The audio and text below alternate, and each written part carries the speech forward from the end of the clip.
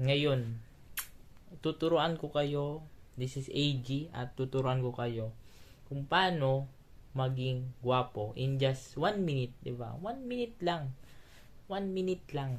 Huwag niyong sasayangin. May mga nakahanda ako sa inyo na paano maging gwapo. So yun, umpisa na natin. Papakita ko din sa inyo kung ano ang gwapo. Kung paano maging gwapo. Yun, mga one minute.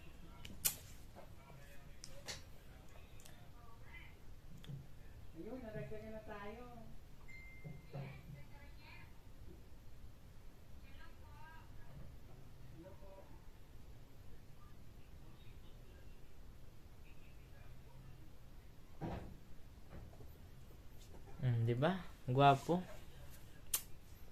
Gwapo. oh. Yun. Yun na. Yun lang, guys.